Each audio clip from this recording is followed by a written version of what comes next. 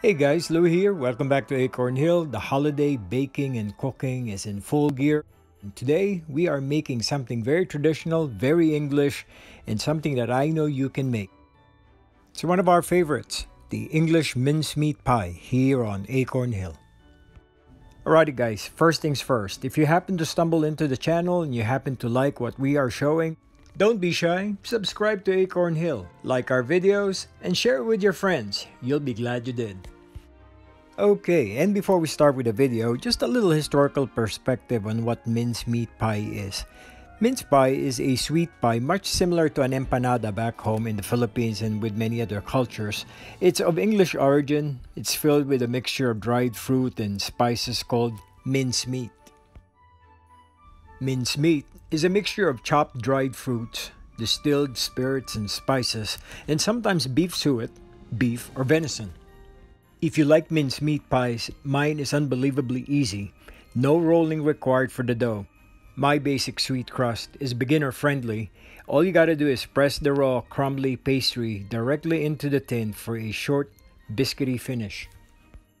I'll be chatting up with you guys along the video and we'll be flashing the requirements, ingredients, and some directions on the screen. But don't fret, I'll be putting the easy recipe on the description box and I'll also be putting up a few uh, videos on the card uh, right on the eye up above of the screen and you can just click on that if you're interested in viewing other videos that we are producing on Acorn Hill. Similar to what an electric mixer would do, I used my hands in mixing up the ingredients in this clip. I mixed up 375 grams of plain flour, 250 grams of softened butter, 125 grams of caster sugar or fine uh, sprinkle sugar, and one large free-range egg. After hand mixing them well, I placed in a couple of drops of water just to make sure that they all gelled together and started mashing and hand mixing them yet again.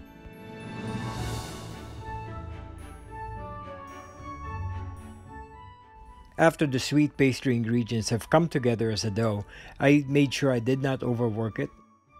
I rolled and formed it into a ball, and I wrapped the pastry in cling film and set it aside to chill in the fridge while I make the filling.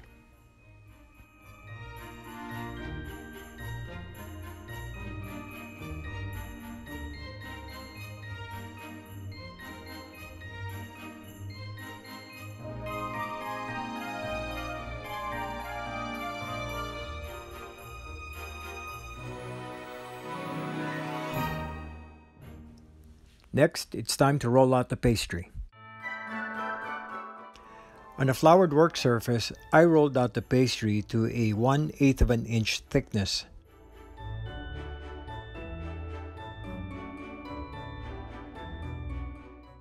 With our wine glass as the round pastry cutter, I cut out 12 3.5 to 4 inch discs of pastry.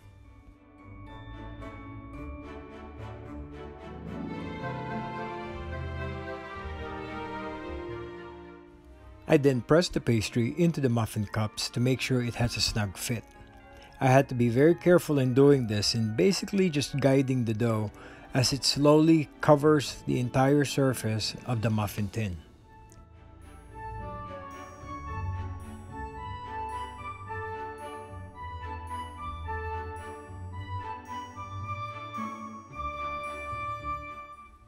Next step, filling the pastry. I filled each one with a good helping of the mincemeat mixture. I made sure it is full to the brim.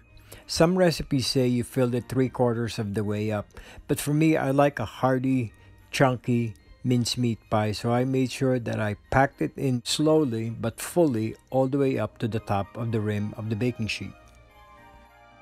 After filling all the pastry tins, I've set this tin aside. In the meantime, using a separate sheet of sweet pastry dough, I used an ordinary drinking glass with a 3 and a quarter inch diameter as a pastry cutter. And this is to cut pastry circles for the lids of the mincemeat pie.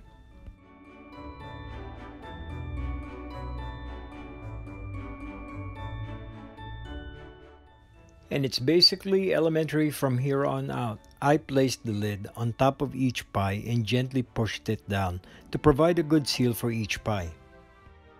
This bake doesn't require any blind baking because the high butter and sugar content of the dough allows for it to heat up and bake really well and no soggy bottoms, which is what we like.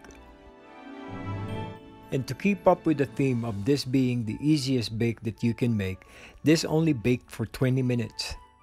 And I then transferred them carefully on a wire rack to cool. If you've never experienced homemade mincemeat pie, you don't know what you're missing. This is very easy to make, and the filling can almost be anything you really like, be it meat, a mixture of fruit and meat, or even just plain fruits.